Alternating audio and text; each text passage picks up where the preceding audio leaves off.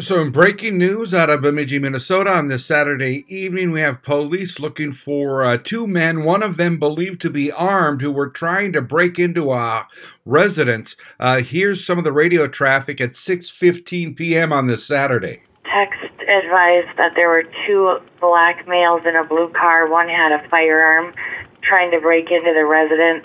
Mississippi plates on the vehicle, trying to get more information per the caller, it looks like a Ford Marquis. Again, this is a text to 911 1163 Adams Avenue Northwest. Now at 6:43 p.m. it sounds like one suspect is in custody and they were searching for a vehicle yet.